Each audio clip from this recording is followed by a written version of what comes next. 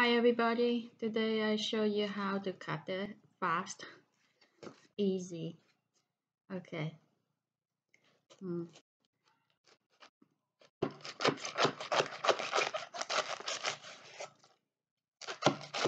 This I learned from my first job in the restaurant when I worked in a French restaurant. My first job to making salads every day um, on the holiday season.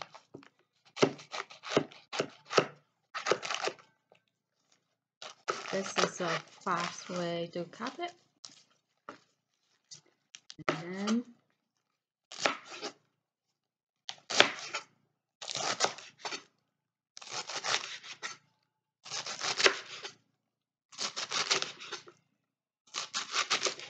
if you want the larger size, you cut the bigger I think that's enough uh, uh, for you to um, to eat as a soup or something. Okay.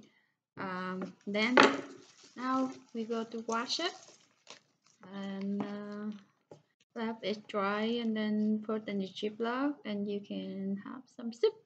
Okay. Thank you for watching. See you next video. Bye bye.